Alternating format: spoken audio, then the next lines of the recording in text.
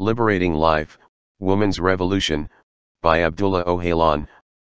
On the author, Abdullah Öcalan, born in 1949, studied political sciences in Ankara. He actively led the Kurdish liberation struggle as the head of the PKK from its foundation in 1978 until his abduction on February 15, 1999.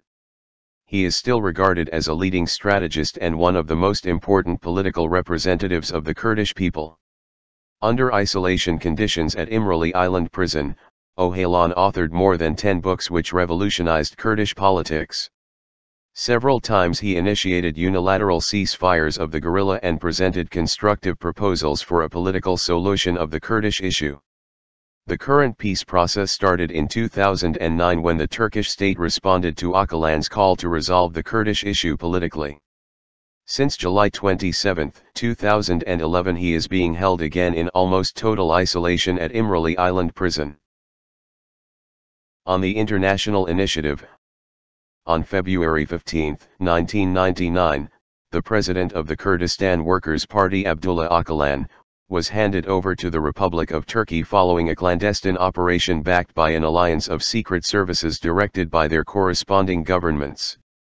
Disgusted by this outrageous violation of international law several intellectuals and representatives of civil organizations launched an initiative for the release of Abdullah Öcalan.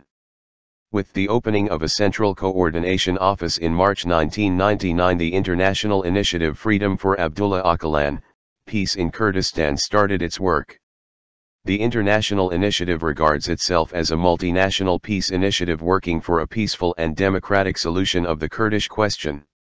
Even after long years of imprisonment Abdullah Öcalan is still regarded as the undisputed leader by a majority of the Kurdish people. Hence the solution of the Kurdish question in Turkey will be closely linked to his fate. As the main architect of the peace process, he is viewed by all sides as the key person for its successful conclusion, which puts Öcalan's freedom increasingly more on the agenda. The international initiative is committed to play its part to this end. It does this through disseminating objective information, lobbying and public relations work including running campaigns. By publishing translations of Öcalan's prison writings it hopes to contribute to a better understanding of the origins of the conflicts and possible solutions.